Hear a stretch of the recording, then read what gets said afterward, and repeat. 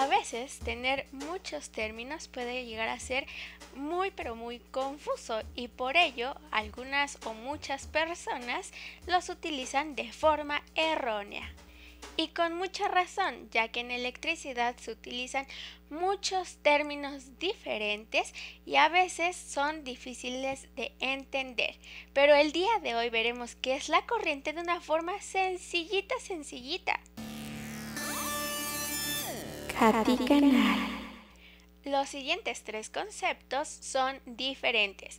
La corriente, el voltaje y la electricidad. Pero ¿cómo diferenciarlos? Ah, pues muy fácil. Todos estos conceptos nacen de un mismo fenómeno llamado electricidad. Y se le llama electricidad al momento donde los electrones comienzan a fluir a través de un medio, como puede ser el aire, un metal o inclusive un cuerpo humano. Este fenómeno que es la electricidad tiene distintas características, pero dos son las más importantes, que es el voltaje y la corriente. Y puedes ir a ver este video donde explico qué es el voltaje.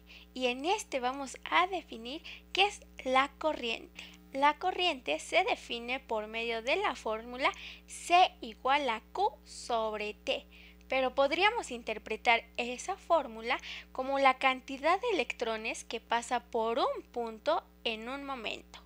Es algo similar a la velocidad que tienen los electrones a la hora de circular, pero estrictamente hablando no es lo mismo.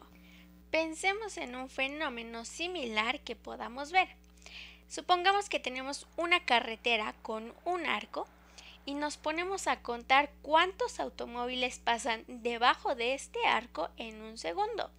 Y así estaríamos midiendo la corriente de la carretera. Pero para que quede más claro este concepto, vamos a ver un ejemplo. En este ejemplo la rampa representa un conductor y estas canicas los electrones. Una de estas rampas está más inclinada que la otra, lo cual hará que una tenga más corriente que la otra. Sin embargo, hay que notar que ambas tienen la misma cantidad de electrones en los extremos y por lo tanto ambas tienen el mismo voltaje. Cuando comienzan a circular veremos que estos tienen una mayor corriente debido a que avanzan más rápido que estos.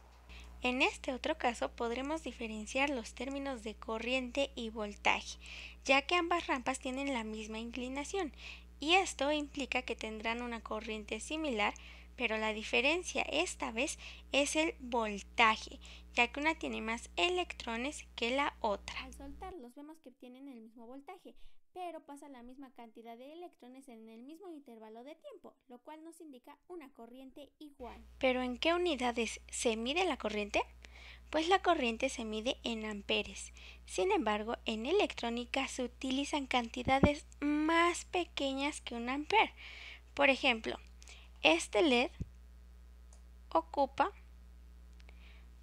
2.7 miliamperes, lo que equivale a 0.002 amperes.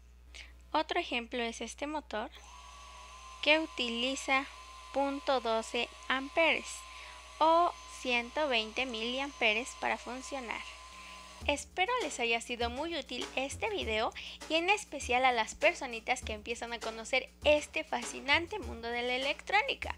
Recuerden suscribirse al canal dando clic en el botoncito rojo de abajo y nos vemos en el próximo video.